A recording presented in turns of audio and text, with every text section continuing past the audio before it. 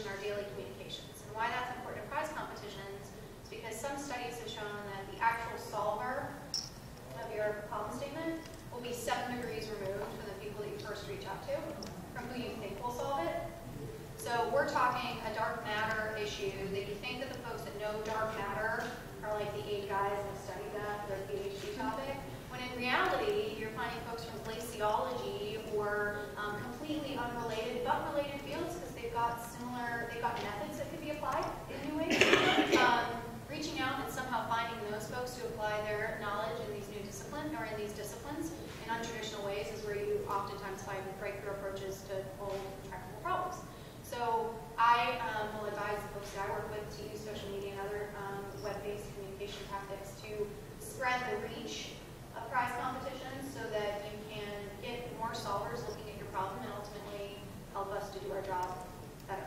So I'll talk more about how um, web is really important for being able to do prize competitions today versus 10 years ago versus 50 years ago, because you can reach so many more people now and bring so many more diverse perspectives to bear on problems. Excellent. Hi guys, um, I'm Jason Townsend. I'm the deputy manager of the NASA social media team at NASA headquarters. Um, I work with uh, a great team of distributed individuals who are all over the country at all of NASA's field centers uh, who are producing um, social media products. Uh, that could be anything from uh, your daily news to online engagement activities like uh, tweet chats to um, you know competitions online to a, a variety of other tools that we use to engage and collaborate with the public, uh, citizen science, and participatory exploration. So through that role, though, um, we also do uh, in-person events, taking the online world offline uh, through something that we call NASA Socials. We used to call them tweet-ups. And those events are wildly successful at bringing people into our facilities and uh, sharing our people, which is our greatest asset with uh, everybody who would not normally get exposed to that. And so it's an interesting mix of, of, the online and the offline in those environments and uh, kind of a digital word of mouth and uh, that's a really great way of sharing our stories. So um, let me know what questions you guys have about anything like that. But I think the, to kind of kick it off here, um, what, uh, what's going on with, with web these days, with, with online, and how is the government using that to really engage and, and reach out and everything? So.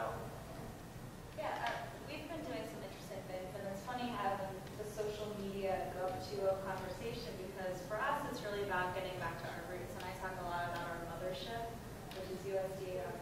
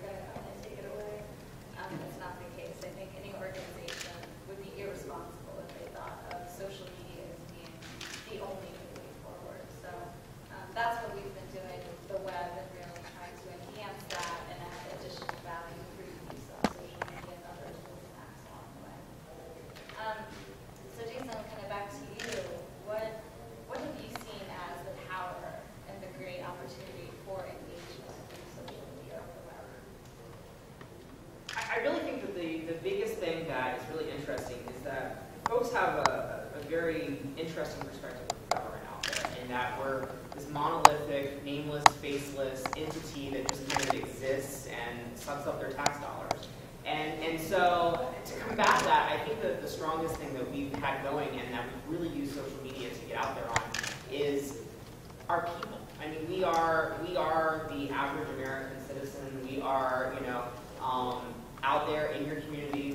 How do we add value to American society? And, and, and getting our scientists, getting our engineers, um, getting our researchers out there and sharing what they do on a day-to-day basis and kind of, you know, pull that curtain back, go behind the scenes, and kind of tell the story that, you know, you're not going to issue a press release and the traditional media is going to write. This is a chance for us to tell all those other amazing stories that we've got going on, similar to what Amanda here was just, just hinting at with, you know, uh, Final Four and, baseball bat and things like that. We, we also have a lot of connections. We have a, a really strong program that called spin-offs, which are basically products that are um, researched and developed originally for space um, that are then spun off into actual commercial products that are out there. Whether they are medical devices, um, they are new um, elements and things that are used in construction, uh, they are, you know, electronics, um, you know, programs like that. There's a lot of practicality to what we're doing in that, yes, we went and developed it first as NASA for our purposes because what we're doing is something that hadn't been done before. Um, but now it's being applied in everyday life. And so having people that can get out there and tell those stories and really engage with the public, either one-on-one um, through, you know, Twitter chats or, you know, through other engagements like that, there's also the ability for them to, to get out there um, in the offline world as well and, and really share that by bringing together groups of followers and fans and people that like you uh, in the online world. So those in-person events we found incredible at organizing um, individuals online in a way that really allows the offline world to connect in new ways new groups that we never really thought of or you know that we wouldn't have traditionally reached. So. Um, just a reminder here, uh, you can tweet your question in and, and put it up on the screen here using the hashtag AISM. So, And I'd also, uh, just to add to that, one more uh, to that question, from the perspective of the power of the web and crowdsourcing. Um, I think that um, both Amanda and Jason spoke about the power of the web in amplifying communications and in getting the message out to more people. Um, but they both know, I know this because they know them both very well, that it's also an engagement tool. So it's not just a one-way communication tool, it's a, it can be a two-way dialogue tool up to co-creation. So if you're thinking about a public engagement spectrum, there's maturity, stuff that you can do, you have to do at the beginning, the foundation, all the way to the stuff that's much more mature and more valuable, arguably, in the end product. You go from informing to allowing feedback to be provided, to dialogue, to co-creation. And co-creation is very mature. This is where you hear collaboration occurring. You can't just jump straight into a wiki. You can't just jump straight into collaboration if you don't have a culture that um, you have the right information out and you've got people willing to provide feedback and you've got a two-way dialogue already going. If you try to launch a or you try to launch a collaborative workspace and you don't already have that culture in place, you should start with a forum. you shouldn't start with co-create. But prize competitions are really, in a lot of ways, co-create. So it's a way to have, um, especially in some prize competitions where you iterate upon the problem statement with the, with the stakeholder group. So if you look at NASA Tournament Lab and some of the work we've been doing with TopCoder, um, who's one of the prize competition platforms out there right now, um, there's also ways that you can actually crowdsource the problem statement with the community.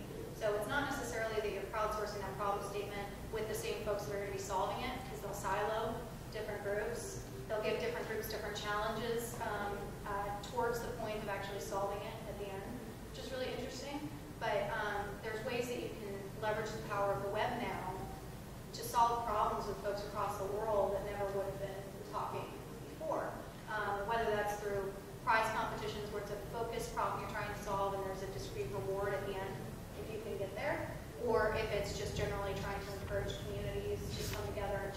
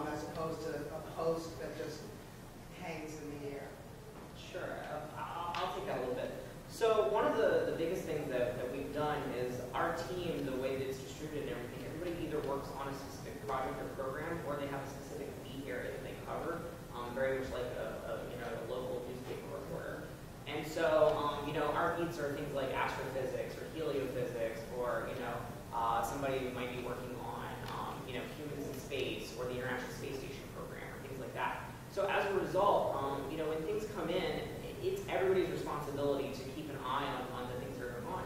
But because we're also all working within either a same tool or similar tools, and we all know who each other are through, you know, um, organizing basically like a working group where we all kind of communicate what's the, the issues that have come know, things like that. We can also know who to task out certain responses to.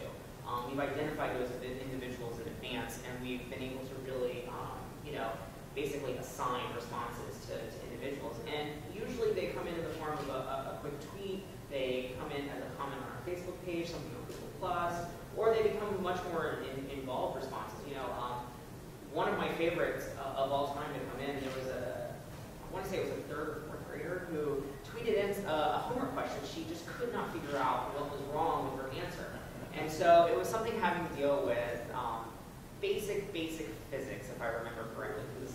And uh, so we actually got her connected with one of our physicists who walked through the problem with her and everything uh, in a couple of different tweets and so on. And she responded back and she had, uh, you know, she had gotten a couple of breakthroughs in that particular thing. And then the next day she tweeted us back, she was like, hey, I finished solving my problem, I turned it in, my teacher said, great work today, so thanks guys. You know, so it's that kind of thing where it's like, you know, not exactly something that, you know, is revolutionary, we're not, you know, reaching out there, but that, but for that one particular student, we really, you know, connected them in a way that really turned it right around and, and allowed them to succeed at what they're currently trying to work at, but also think about how, you know, they could possibly do this, you know, more long-term and, and how you could actually make a career out of these kinds of problems and, and questions. So, you know, a little bit of, you know, STEM education, outreach, and things like that at the, at the same time. So that was something that was an easy win. But, you know, the, as far as the reach back goes, um, you know, like I said, we're in the same tool, we're all working together, and, and identifying those people in advance, uh, so that way you know who, whose job jar it falls into, basically, to, to help out get and answer that question, um, i- is crucial. It's utterly crucial. And without that kind of organization, it can be challenging. I mean, the questions that come in sometimes are, frankly, off the wall. You know, they're like, what is this? What's the, what, you know, what, what is this person really asking? And so when you boil down what they're actually trying to get at, then sometimes it's like, oh, okay. You know, and sometimes it takes a couple of back and forths to get there. And so having somebody that can be on point for that is, is crucial. So, I have a question. You also mentioned Sure. tools, and you had a certain suite of tools that you guys are, are common tools that you're using. sure. Um, I don't know if you wanted to kind of answer the first part of that question, but I'd love for you to talk about what those tools are and kind of how you got to them. Um, Maybe help shortcut for some other people as they're not. Sure. Well, as an agency, we've kind of experimented with a large variety of tools, and we use different ones for different things. So, um, you know, not really to go into to too many specifics here, but um, we do use things that are basically like uh, Twitter management systems that, um, you know, things like a Hootsuite or CodeSuite or, you know, things like that. Um, there's, there's a large number of them on the market. They all offer a lot of similar features. And um, those sorts of programs allow us to, you know, schedule, you know, tweets in advance um, and respond all into the same system so that we don't have to basically give out uh, the, master account passwords to everybody. And um, those kinds of things are actually really valuable when you're trying to work in a distributed environment like we are, where, uh, you know, the people that are matrixed out into the organizations who are working down at the lower, you know, in the, the lower levels and the, the different programs and things, they can still get direct access to our, our master accounts without us turning direct access over to them. So tools like that are extremely crucial um, to, to distributing that workload and everything. But we also use um, just the web interface of a lot of these different platforms and everything. Um, you know, nothing beats just uploading a video to YouTube that has you know somebody on camera talking about an issue or a topic or something out there. And, and so don't ever under, underestimate the power of just going directly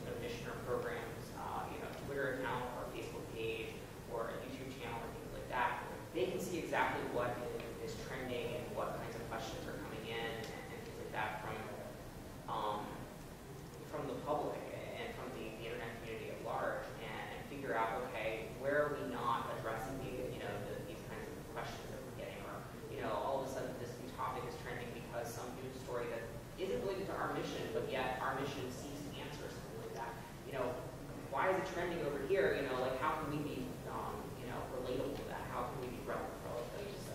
Someone answered that, that question from yeah. Arnold Don, does SM social media? And, and yeah, yeah. And, and, so, you know, it, it allows us to um, kind of drill down and get a little deeper um, than we probably would have without that direct response and feedback mechanism. And, and by decentralizing it and putting it out in the programs, um, people are allowed to have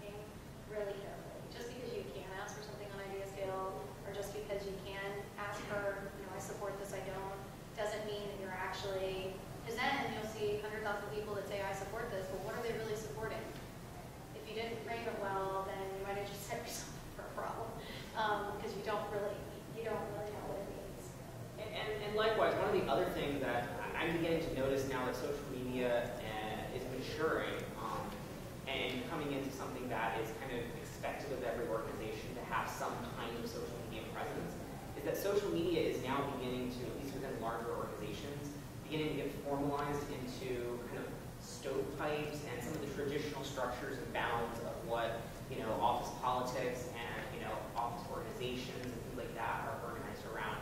And that was one of the great things about social media is that it moved us away from all of that right at the beginning where you know, anybody could go sign up and go do and start tweeting or you know start posting on Facebook or things like that. And so yes, putting some structure in place for that process is is good. It's a very good thing. Um, so that way you know you're not running around like a chicken with your head cut off. But at the same time, putting too much in it and overly boxing it in and making it you know this very unique little thing that you know is very niche, esoteric over here. When really it could also be talked about with these three other things, and together you could pool your resources um, to really spread the knowledge about similar items to the same audience that's interested across the board, but yet is not going to necessarily want to follow three different accounts to get three different, you know, things that are all similar. So, um, you know, as it matures and as it as it grows, um, and new platforms are added and new tools are put out there and things like that, there's a there's a real there's this rush to structurize it and, and, and put it in a way where it is um, mimicking a lot of the, the online world of the web that know, previously happened where every office has a website every, you know, every individual that, you know, has a, you know, executive level job or whatever has an account. And, you know, those types of structures are, are beginning to emerge again. And, um, you know, maybe there's a way to combat some of that and keep it the, the open and more free-spirited discussions and things that are kind of cross-pollinating different topics and things out there that social media has been really good at to And I date. think, I think at the end of the day, the reason that this wasn't a flash in the pan, you know, five years ago, when this stuff started, five, six years ago, when this stuff started in government, is because government's finding real value from it. It's not just an exercise because everyone's got, someone's got a Facebook account, so I need to launch a Facebook account. Well, why? There's a lot of really good stories and a lot of good data about how it's valuing government in way, or it's benefiting government in ways that you know, government really needs at this point. For prize competitions, you can get things from, you can get new ideas from new people at significantly less cost than you would get through traditional means. In a time when you have to do more with less, that's really important. So prize competitions are not for every problem. Online crowdsourcing is not for every issue, but it can really help in areas where maybe you wouldn't have been able to, to deal with that issue in the past. Or you need to stretch outside your traditional boundaries because whatever you've been doing for the last however many years isn't working. So you're going to try something new and now you have a way to do that. Amanda, you- earlier you had said that social media shouldn't replace traditional media, yet each of you have talked about things that your agencies have done that have really kind of pushed the boundary and changed the strategy of the whole media public affairs. What's, what's the right mix of traditional versus social, and how does it change